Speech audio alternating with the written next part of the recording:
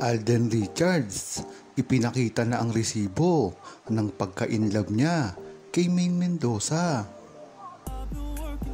Itong taon nga ito, tila hindi na nagpipigil si Alden Richards kung ano talaga ang totoong nararamdaman niya kay Maine Mendoza.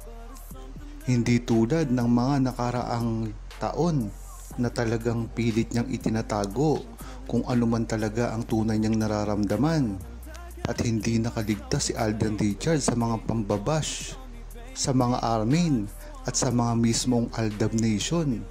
Sinasabi kasi ng Aldab Nation na bakit kasi ayaw pang aminin ni Alden Richards ang talagang pagtingin niya at ang relasyon niya kay Maine Mendoza.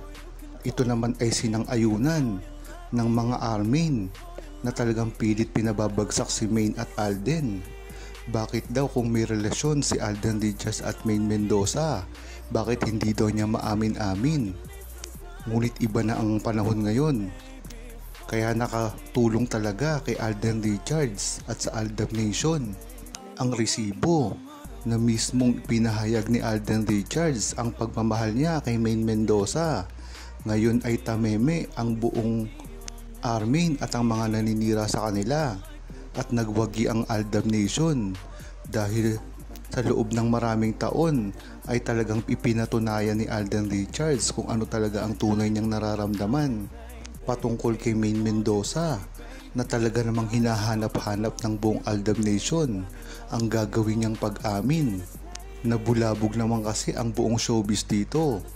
Sa mga revelasyon na ito, kahit si Boy Abunda, OG Diaz at iba pa ay talagang nagulantang sa binitawang ito ni Alden Richards.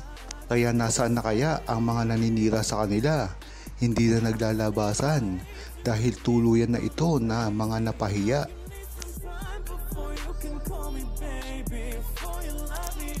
Huwag kalimutang mag-subscribe, comment at ilike ang video na ito. Thanks for watching!